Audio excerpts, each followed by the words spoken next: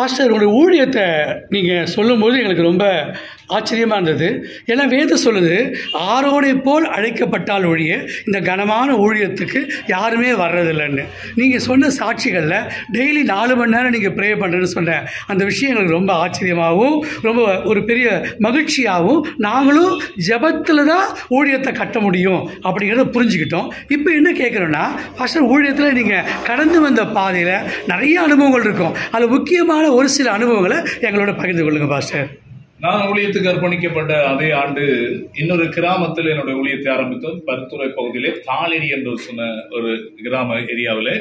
அது மிகவும் அஹ், ரோமன் கத்தோலிக்க மக்கள் வாழ்கிற ஒரு நல்ல ஒரு கிராமம். அங்கே நான் ஊழியத்தில் கடந்து சென்ற பொழுது அங்கே அநேக ஆண்டவரை ஏற்றுக்கொண்டார்கள். ஒரு நல்ல தம்பி ஆண்- ஆண்டவரை ஏற்று அண்ணன் ஆண்டவரை ஏற்றுக்கொண்டு அன்றே என்னோட வீட்டுக்கு வந்து விட்டார். அதனாலே அந்த இடத்துல எதிர்ப்பு அதிகரித்ததுனாலே அங்குள்ள இருக்கிற ரெண்டு முக்கியமான அங்கு ராணுவத்தினரிடம் ஒரு லெட்டர் அடித்து கொடுத்து விட்டார்கள். இவர் நம்முடைய தேச துரோகி. இவரை உடனடியாக இவரை நீங்கள் கவனித்துக் கொள்ளுங்கள். இவரை உடனடியாக நீங்க போட்டு தள்ள வேண்டும். இவர் உயிரோடு வைக்கக்கூடாது என்று சொல்லி ஒரு லெட்டர் அடித்து கொடுத்து விட்டார். இதனாலே நான் தொண்ணூற்றி ஏழாம் ஆண்டு மார்ச் மாதத்துல இருந்து அந்த ஊழியத்துக்கு போன பொழுதெல்லாம் அங்க ரெண்டு ஆஹ், ராணுவத்தினர் என்னை என் காதிலே பல தடவைகள் பிஸ்டலை வைத்து சொன்னார் உன்னை போட்டுடுவோம் உன்னை சுட்டுடுவோம் என்று சொன்னார் ஆனால் அந்த பதினேழு வயசுல கூட ஆண்டவர் நான் அழைத்ததுனால எனக்கு பயம் வரல அந்த நேரம் நான் அவர்களுக்கு சொன்னேன் நான் யாருக்கு சப்போர்ட் இல்ல.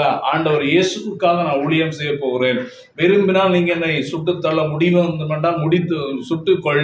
ஆனால் ஆண்டவர் இயேசு பெர்மிஷன் தந்தா தான் நீ என்ன சொல்லலாம். நான் நீ நினைக்கிற மாதிரி உங்களுக்கு துரோகம் செய்யவோ தேசத்துக்கு அநியாயம் பண்ண வரையில.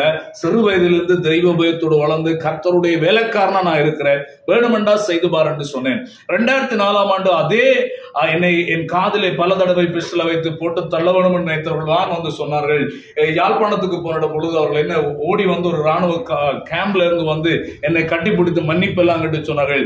இன்ன இன்னால் தான் அகிலன் உன்னை சுட சொன்னார்கள். ஆனால் நாங்க வீட்டு வாசல் மட்டும் வந்து நீ யார் என்று பார்த்தோம். அதனால நாங்கள் உன்னை சுடவில்லை. நான் சொன்னேன் நீ நினைத்தான் எத்தனை பேரை சுட்டுக் கொள்வது உனக்கு பிரச்சனை இல்லை. ஆனால் ஆண்டவர் இயேசு என்னை ஊழியத்திலே காத்தார். அது மட்டுமல்ல ஊழியத்துக்கு வந்த பொழுது இது என் வாழ்வில பெரிய ஒரு பிரச்சனை. கிட்டத்தட்ட ரெண்டு வருடங்களாக எனக்கு இது ஒரு பெரிய தலைவலியாகவே இருந்துச்சு. ஆனா நான் ஊழியத்தை நிறுத்தல. பிரச்சனையை பார்த்து ஊழியத்தை நிறுத்தல. பணத்தை பார்த்து ஊழியம் செய்யல எது வந்தாலும் நான் மரண பரியந்தம் ஆண்டவருக்கு ஊழியம் செய்யணும் எப்பொழுது தீர்மானம் பண்ணினேனோ நீங்க கலப்பை மேல கை வச்ச நீங்க. உண்மையாவே கலப்பையை கெட்டியா பிடிச்சிட்டீங்க. அதனால பணம் இல்லாம போனப்பையும். மனுஷ எதிர்ப்பு வந்தப்பையும் அந்த தீய சக்திகளுடைய போராட்டம் வந்தப்பையும் நீங்க வச்சிருந்தது கலப்பையின் மேல கை. அதனால உங்களை கத்தர் இந்த அளவுக்கு பலப்படுத்தியிருக்கார் கேட்குறப்ப துவக்க கொண்டு நெட்டில் வச்சப்ப கூட உங்க ஜீவனை பத்தி கவலைப்படாம உங்க ஜீவனுக்குள்ள கிறிஸ்து மறைஞ்சிருந்தாரு அப்படின்னு கேட்கும்பொழுது உண்மையாகவே அது எங்கள் வாழ்க்கையில் ஒரு பெரிய என்ன சொல்கிறது தெரியல ஒரு கண்கள் திறக்கப்படுது பாஸ்டர் எப்படி நீங்கள் மற்றபடி எல்லா போராட்டங்களை சகிச்சீங்க? ஆச்சரியமானவருடைய என்னன்னா நான் சரியாக பயந்தவன் சரியான பக்கம் பிடித்தவன். ஆனால் அவள் அதை என் காதல வைத்து ரெண்டு பேர் ரெண்டு பிஸ்டலை வைத்து தட்டுகிறார்கள். நான் பயப்படலை. அது நான் இல்லை. கர்த்தர் என்னை ஊழியத்திற்கு அழைத்து என்னை பலப்படுத்திய பெரிய ஒரு ஆசீர்வாதம் இன்றைக்கு நான் சொல்லுவேன். ஆயத்தம் உள்ளவனாய் கத்தரனை வழி நடத்துகிறார்.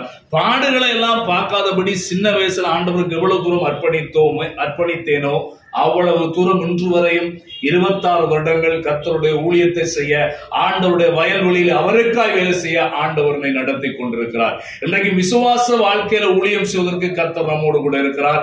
குடும்பத்தையான நல்ல மனைவி பிள்ளைகளை கர்த்தர் கொடுத்திருக்கிறார். நல்ல திருச்சபை மக்களை கத்த கொடுத்திருக்கிறார். நல்ல தலைவர்களை என்னோடு கத்தர் வைத்திருக்கிறார். நான் இல்லாட்டியும் என் திருச்சபை ஊழியத்தை கொண்டு நடத்துவதற்குரிய நல்ல தலைவர்கள் மிக திறமை வாய்ந்த ஆவிக்குரிய தெய்வ பயமுள்ள தலைவர்களை கத்தர் உருவாக்கி இன்றைக்கு நம்முடைய ஊழிய பயணத்திலே ஆண்டவர் மிக அற்புதமாய் ஆச்சரியமாய் நடத்துகிறார் என்றால் ஆச்சரியம்தான் அதிசயம்தான். கர்த்தருடைய கிருபை நமக்கு போதுமானதாய் இந்த ஊழிய பயணத்திலே இருக்கிறது. ரொம்ப சந்தோஷம் பாஸ்டர். ஏன்னா ஒரு குடும்பத்தை வச்சு நடத்துறது கஷ்டம். சபை என்பது ஊழியம் என்பது அநேக குடும்பங்களை கட்டி அவங்கள எல்லாரையும் ஏற்படுத்துறது. இதில் எப்படி நீங்கள் எதை நோக்கி நடத்துறீங்க? கர்த்தருடைய வருகைக்கு நேராக நடத்துகிற வேலை இருக்குது சுவிசேஷ அறிவித்தல் இருக்குது. இப்போ உங்கள் ஜனங்களை எப்படி கர்த்தருடைய வருகைக்கு நீங்கள் ஆயத்தமாக்குறீங்க? அப்படின்னு தெரிஞ்சால் எல்லா சபை மேய்ப்பர்களுக்கும் அது ஒரு நல்ல பிரயோஜனமான தேவ ஆலோசனையாக இருக்கும். அதை பகிர்ந்து கொள்ளுங்க பாஸ்டர். உண்மையாகவே திருச்சபைக்கு வருவதை நான் அதிகம் உற்சாகப்படுத்துகிறது. ஆண்டவர் இயேசுவை போல வாழுவோம். அவருடைய வார்த்தையில் உறுதியா இருப்போம் தேவ ராட்சியத்தை சுதந்திரிப்போம். பணத்துக்கு நம்ம சபைகள்ல நம்மளோட பிரசங்கள் எல்லாம் முக்கியம் வராது. சேர்ச்சுக்கு வாரவன் ஆண்டவர் முதலாவது பிரியப்படுத்தினால்தான் அவருடைய வாழ்க்கை ஆசீர்வாதமா இருக்கும் அவருடைய குடும்பம் ஆசீர்வாதமா இருக்கும் அவர்கள் வருகிற சபை ஆசீர்வாதமா இருக்கும். எதிர்காலத்தில் தேவனுடைய வருகைக்கும் நம்மை ஆயத்தமாக்குவோம் என்பதை ஆணித்தரமாய் அடிக்கடி நாம் வலியுறுத்துவது உண்மை. உண்மைதான் பாஸ்டர். நீங்கள் ஜனங்களை தேவ சாயலா மாத்துறது தான் ஒரு மேய்ப்பினுடைய பணின்னு சொல்கிறீங்க கிறிஸ்து வெளிப்படும்பொழுது அவர் இருக்கிற வண்ணமாகவே நீங்களும் உங்கள் சபையும் இருக்க நாங்கள் வாழ்த்துகிறோம் ஆசீர்வதிக்கிறோம்.